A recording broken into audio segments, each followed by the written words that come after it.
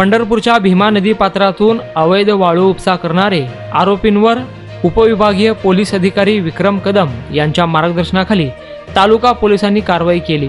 शनिवारी रात्री तालुक्यातील सुस्ते पुळूद शेगाव दुमाला या गावात ही कारवाई झाली.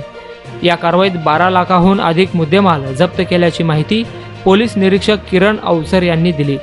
गोरख विश्वंभर सिंघन राहणार सुस्ते तालुका पंढरपूर यांच्या घराजवळील रोडलगत भीमा नदीच्या पात्रातून अवैधरित्या वाळूचे उत्खनन करीत असताना पोलिसांनी ही कारवाई केली आहे. या कारवाईत पोलिसांनी सहा लाखांचा पिवळ्या रंगाचा एच एम टी कंपनीचा ट्रॅक्टर अर्धाब्रास वाळू भरलेली अर्धाब्रास वाळू जप्त केली आहे.